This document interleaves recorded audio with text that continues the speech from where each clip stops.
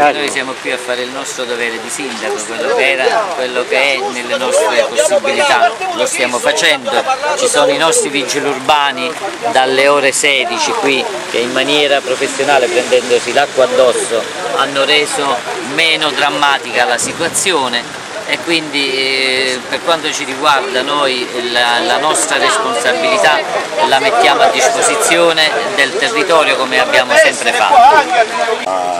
Non bastano proprio per la fragilità i pannicelli caldi del, i pannicelli caldi delle giostre delle competenze. Qui bisogna assumere un atteggiamento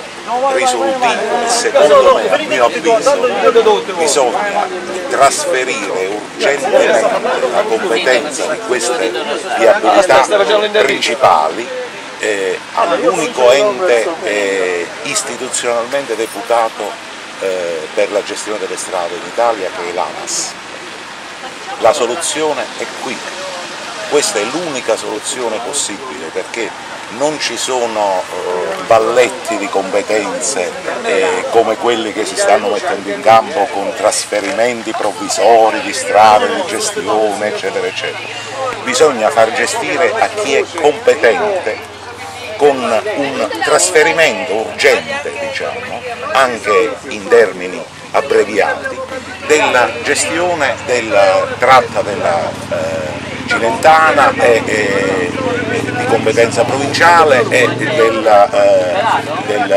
eh, suo sbocco a mare che è la Mingardina. Questo eh, consentirebbe una gestione unitaria senza accavallamenti competenze, scarica barile, eccetera, eccetera, e consentirebbe soprattutto di fare interventi seri,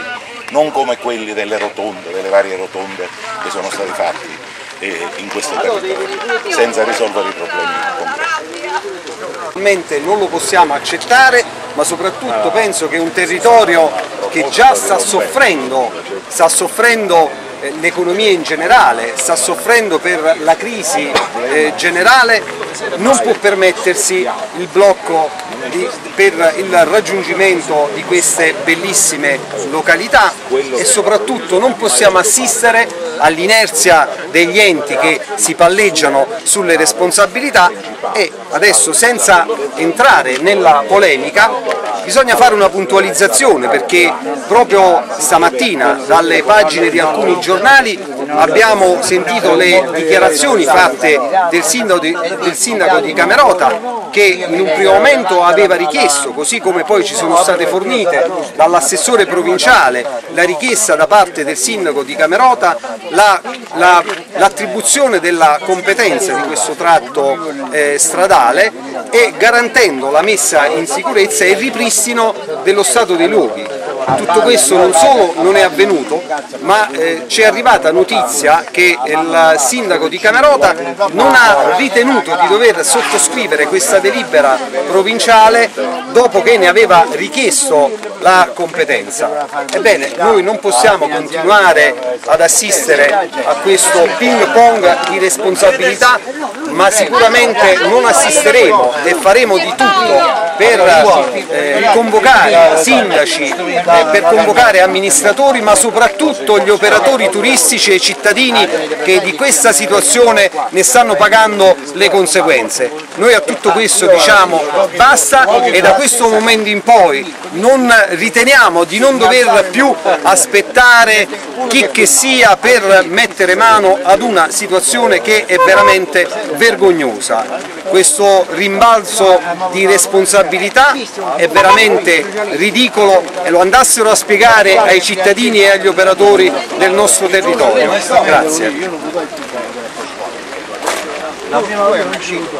due è una scelta, perché io sto dicendo un'altra cosa, Piero Da, sto dicendo un'altra sindaco di Corriere per tutti i Purtroppo è da mesi e mesi e mesi che questo annoso problema eh, eh, purtroppo ha, ha, fatto sì che oggi ci ritroviamo con un gravissimo problema per la viabilità e grandissimi problemi per quanto riguarda l'economia locale. Noi in Consiglio Comunale avevamo avvertito del pericolo che si correva e da da ottobre esattamente che chiediamo al sindaco eh, di intervenire e di creare un tavolo tecnico con i comuni di eh, Centola e di Pisciotta per far sì che questo problema così importante fosse condiviso e per dare manforte al territorio con le intere popolazioni. Purtroppo questo non è avvenuto, oggi avvertiamo e vediamo soltanto uno scaricabarile di responsabilità tra la provincia e il sindaco di Camerota che si è fatto così portare eh, eh, lungo tutti questi mesi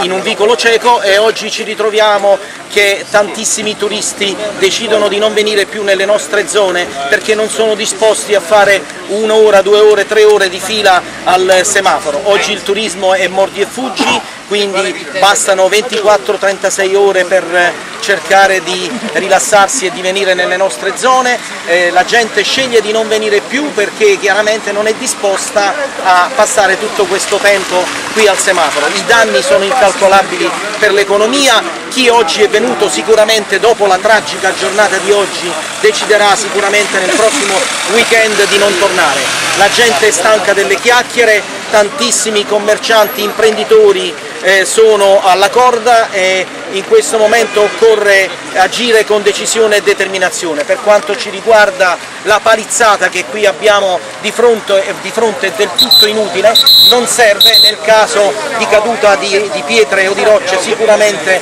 non sarà un ostacolo per, eh, appunto, per, fermare le rocce che cadono dal costone, bisognava prendere provvedimenti già dal mese di novembre, cosa che non è stata fatta e quindi il sindaco di Camerota purtroppo eh, dobbiamo constatare che ha deciso eh, con questo atto scellerato di eh, far sì che la nostra popolazione subisca un altro gravissimo danno.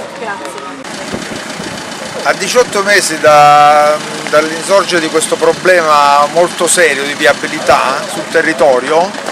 eh, come eh, Partito Democratico di Camerota chiediamo immediatamente le dimissioni dell'assessore alla viabilità del comune di Camerota per manifesta incapacità a gestire un problema che avrà ricadute gravissime sul territorio e sull'economia dell'intera zona.